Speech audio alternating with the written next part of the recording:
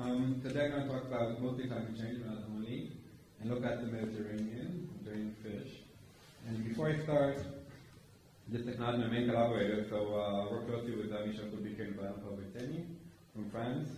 And many of the things I'm going to share today are things done by people in my lab, and especially uh, Ivan, which is not here, but he's a PhD student in my lab, and we, he did actually lot of the work we're going to show you today.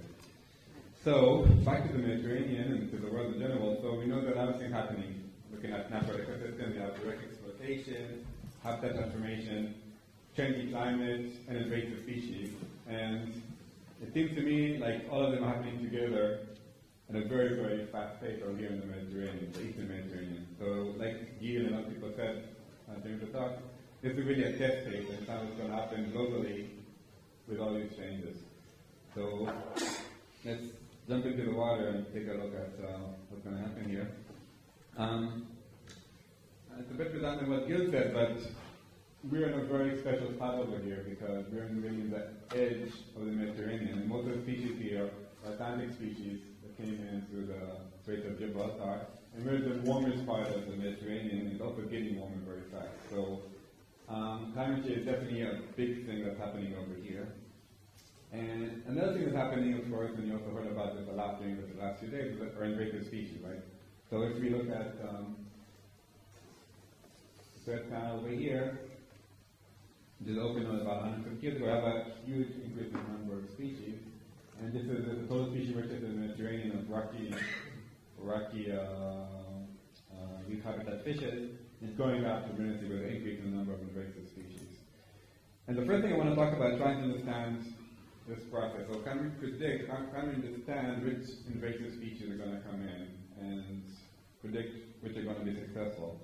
So looking just at the, at the impact of these species, it's huge, and heard this before. So abundance of the non-indigenous species is higher than indigenous species, looking at straw nets, and the biomass is the same. So it's, it's a huge impact happening here. And we can't really manage them once we come, but the idea is to try and predict who's going to come and try to prepare early warning, understand uh, the ecological consequences. So we look at the Red Sea, we go in the water, we see all this huge number of fishes, right? And there are different sizes, different colors, they do different things. Some are reef fish, some are uh, pelagic fish. And looking at them, it would be very hard to judge which one is going to be invasive or not. So from this picture over here, maybe about a third are invasive, non-invasive in the Mediterranean. And you wouldn't even expect it. There's very diverse groups, like this is invasive, and that is invasive, and are invasive, so it's very diverse. And the first thing I want to do here is to understand, can we predict, can we understand why some species are invasive and some aren't? And to do that, we can look at two different things. We can look at the ecological traits, of what the species do. Okay? So we can look at their body type and their diet, are they frugivorous or herbivorous or predatory, what's activity at night, uh, what's their home range, what is their social group behavior. That's the first thing I want to talk about. And then you can also look at climate. Okay, so what do these species prefer? They warm water species, cold water species, they like saline water or fresh water, like that. So I'll start with ecological uh, traits. How could that advance our understanding of invasiveness in, in, in the system? And here's the ordination, looking at the traits of species. We took all these traits together and we put it on, a, on ordination. This two axes of a non-metric multidimensional scaling, and each point here is a species. The the red are invasive, and the size proportional to the relative abundance and, and data. So just to make sure we understand this, point out close together species that have uh, similar traits. Okay, point out far away or species that have different traits. Okay. So if all invasive would come into or be very special, all very big, or all very uh, herbivorous, or all very something, you would expect the red and blue points to be separated. What you can see is that red and blue points are kind of mixed, okay? It seems random. So at first glance, it, seems like no pattern up here whatsoever. So the red points and blue points completely um, combined here. But when you can look at it in a different way, and I have to look at how many neighbors the red sea species have. Okay, we have a invasive species. Okay, in this, in this MDM spot, okay, let's see if over there, can take some kind of radius around it and count how many native species that species. Invasive species have. Okay, that's, a replication index. Okay, we can look at different radii. So we can increase the circle. Okay, and in black you see the, the, the, the, radius, the black radius of the similarity, trait space. Okay, and the number of neighbors. The black is what we get. And then the blue and the red here are some kind of null So what do we expect by chance? So of course when you increase the radius you're going to get more numbers, not more neighbors, but how is that related to what we expect by chance? We can have these different random samples from Red Sea species or Mediterranean species. I won't go into the details here. But in general, you see that black is beneath the null model. You see it even more when you look over here. It's more the similarity right here where you expect competition to happen. So you see that in average, okay, Red sea species tend to enter locations, the trait space, where there's no, no, no competition. So basically less um, native species than you'd expect. Okay, so invasive seems to be successful when there's no competition. It makes sense, okay, but I think it's fact that we can see it. So this is not completely random. We can also look at, at the pattern a few times. So look at trait richness, so the total number of traits in the Mediterranean change through time. And it goes up randomly, but it isn't within the envelope of the null model, the envelope of random samples from the Red Sea. Because uh, the number of neighbors, and the number of neighbors goes up through time, there are more and more species in the Mediterranean, but it's below the model. So consistently invasives are going to places where the less neighbors. This is for the whole community in general. We can also do it for each species that comes in. So over time, when a species comes in, how many neighbors does that see? How many uh, native neighbors does it see? And here, as a, as a, result, and you can see that in general, there's an increase in number of neighbors. The species that came in a long time ago tend to go into places with almost no native neighbors at certain radius. So they came to really empty niches. But as time goes by, and niches become more and more occupied and becoming more and more dense, species nowadays are coming in even though there might be many neighbors in this location. So here, species coming in, even though 50 species that similar, similar ecological functions are still managing to come in. And this could indicate some kind of biotic meltdown, a regional meltdown, where the species that the Mediterranean became so similar to the Red Sea, there's no biotic resistance anymore. The species are coming in all the time now, in, in more, in more and more densely populated niches. So they're not stopped by niche availability anymore. Okay, so it's a bit complicated, but I hope you got the main uh, message here. And after trade, let's talk about climate. How does climate affect the success of invasive species?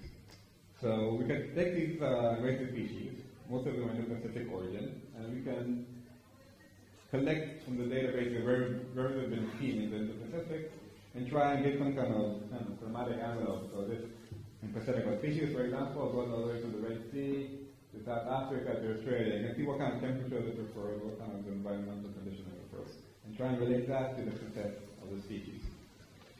So for example, we can see that alien species, okay, that are invasive in the Mediterranean, tend to have a higher uh, temperature range compared to species in the Red Sea that are not invasive, as compared to other Red Sea species.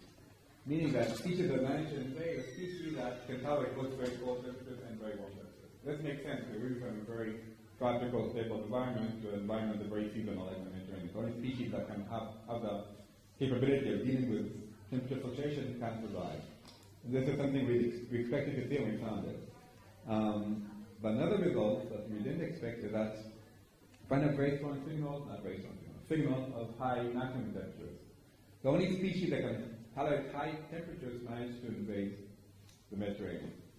And why is that surprising? Because what we heard about before is that, okay, all these species from Earth are adapted to warm temperatures, right? And therefore they're going into the Mediterranean. What we see here, the species the adaptive warm temperatures managed to go in. Here, not adapted to warm temperatures can go in. This is because the Mediterranean during summer is hot. It's so hot, it's much hotter than anything these species saw in the Red Sea or where they come from. So it might be too hot for some of these species to come in. So some species make it in, they're adapted to warm temperatures, but many other species cannot go in, cannot not succeeding in invading because it might be too hot for them.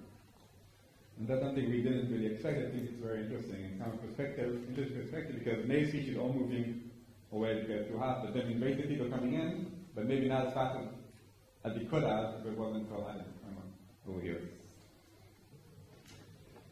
Now, apart from comparing invasives to non-invasive in the Red Sea, you can also look at what species that managed to invade do once they come. So the species they came into the Red, the Red Canal into the Mediterranean, do they stop there? Do they become super abundant? Do they expand?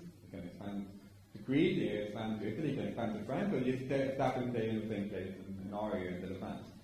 So we looked at all these uh, invasive species and tried to see where they're found, what kind of climates they're found in the Mediterranean compared to their Indo-Pacific origin. Now, the basic three possibilities, um, and these are just illustrated with an example. This is a species, okay, this is a PCA of the climate space in the Indo-Pacific and the Mediterranean. What kind of climate is speak about? Temperature, salinity, productivity, whatnot. And the dashed lines over here is what you get in the Indo-Pacific, and the solid line what you get in the Mediterranean. This species over here has a lot of its region in red. And this, these are species that in the Mediterranean, the occupied climates, they never occupy in the, in the, in the Pacific. So they're expanding into new climatic spaces. Uh, that's one possibility. The species are expanding into climatic spaces. This means we can't really predict where they're going to go. If you have the, all the data from the Pacific, you know exactly where they are, we still won't be able to predict what they're going to do in the Mediterranean. Another possibility of this species, where it's found exactly where it's expect, expected to be found. Okay? Or you have exactly the same climatic conditions in the Pacific and the Mediterranean. And this kind of what would be good news for the model is that we can use basic temperature data or environmental data, we can predict what the species is going to do. The third possibility is for this species, for example, where out of this space is still empty, I mean, meaning that it's occupying part of the space in Mediterranean, but not all of it. So this makes sense for species this kingdom, for example, and still have room to expand. And through time, it might become green where they expanded full climatic condition.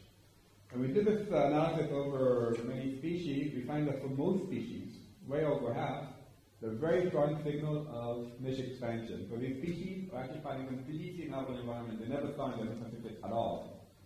And they're expanding way beyond the climatic niche. Probably because they have no predators, they have no parasites, or we don't know exactly why, but it means that basic modeling of temperature can't really predict where the species are going to go. This is a kind of bad news for the modelers. It's interesting, but it's, uh, it's, a bit concerning about ability to really predict the effect of climate change.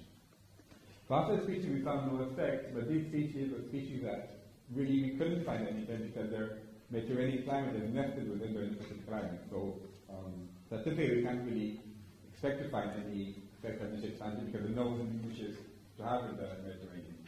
But for all species that could expand the niche, we actually found a very strong signal of niche expansion. So, I've been talking up to now about invasive species. Let's go to native species. And we heard native species also having, uh, or also impacted by many changes. Uh, one is in the climate change. They have other effects. They have strong effects of fishing, which we talked about yesterday. I had a whole session about fishing. A lot of debate how, how much fishing is impacted, uh, impacting fishing over here. And we have the invasive species are coming in. So are the invasive affecting the indigenous species or not? And also the question before about that particular question. and the climate change. Those things are happening together, and what we want to know is what are the relative effects. So we know things are changing over here, species are changing. What's happening? Is mostly climate change, mostly invasive species, mostly fishing? Which is most important? And what we did is we compared uh, data from 12 samples from the early 19s that Ornithonians basically uh, selected, look at today, and more recent data collected by Dora And we looked at the index of change. So for each species, we looked at the ratio of the abundance now, the relative abundance and the relative abundance 20 years ago. Did like a log, log scale. Okay? The species that went up will have a high index value, and species that went down will have a low index value. And species that would be zero. And let's look at these three effects. Fishing versus species, climate change, the question, okay? Starting with fishing, we have here on the y-axis log abundance change. Maybe some species that went up, but abundance of some species that went down. And on the x-axis, we see the vulnerability to fishing. Okay? So some kind of index that takes the body size and the growth rate and a few other things. And on the right, here will be very large species that are slow growing and very susceptible to fishing. Like groupers, for example, sharks or something like that. And on the left, here will be species that are very small and fast growing, probably not, targeted by fisheries, and probably go through the holes in the net anyway, so they're basically not impacted by, by fishing.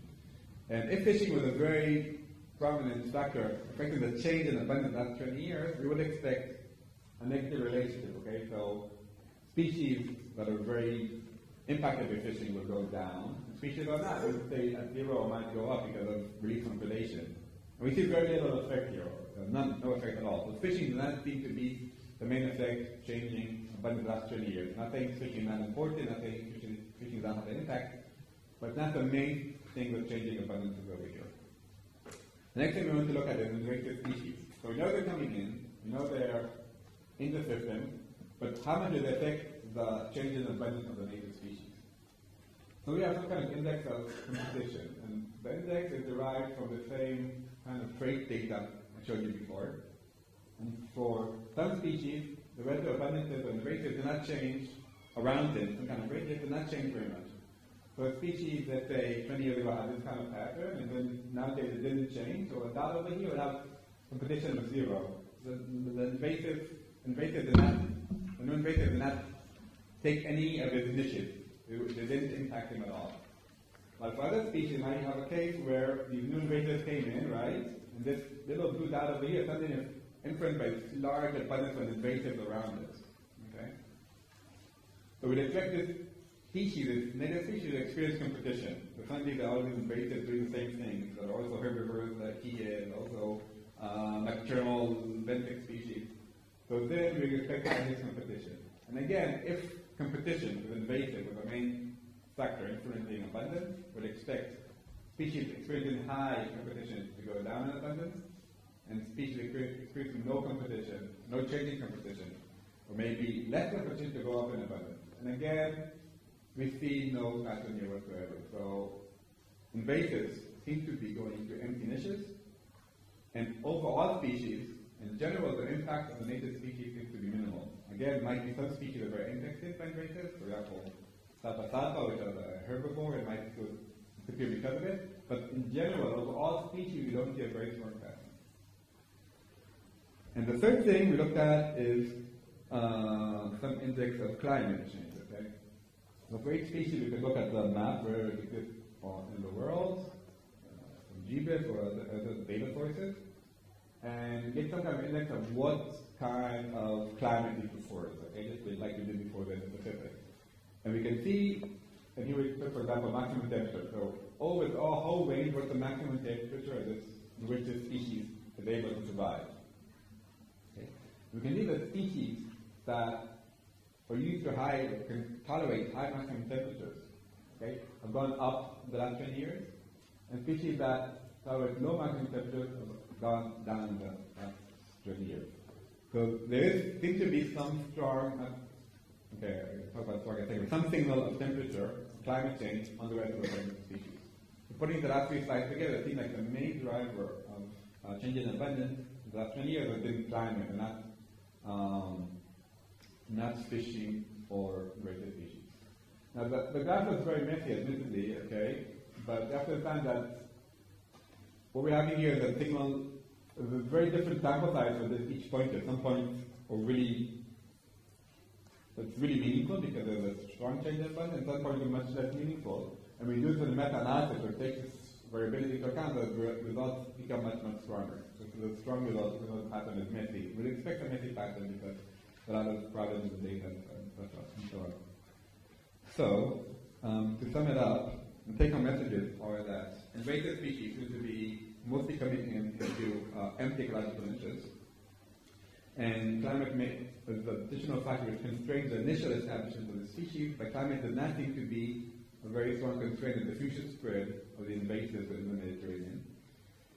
In addition, looking at native species, indigenous species, we see that of all the threats of climate change into the main factor in abundance compared to things like invasives and, uh, and fishing. And the Mediterranean is a very interesting system, and I think we're going to get a lot of interesting uh, insights from this future years about global change and, and, change in the world in general. So just a few words of acknowledgement. So uh, all people in my lab participated one way or another and collaborated, like I said, Michelle Vicky, Ernesto Azzurro, Leano, um, Bill Ederick, who's here, and Owen Funny, Danny Golani, and uh, Fanny Gated. Thank you.